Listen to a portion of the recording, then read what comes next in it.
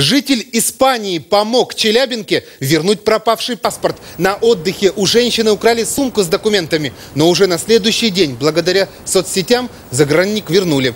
29-летняя Анастасия отдыхала с мужем и ребенком в Барселоне, но на пляже неизвестный похитил сумочку. Позже гражданин Испании увидел в руках у бродяги женский редикюль, взял посмотреть, а внутри паспорт Анастасии и ее сына. Иностранец нашел Челябинку в социальной сети и сообщил, что документы отнес в полицию, и там она сможет их забрать.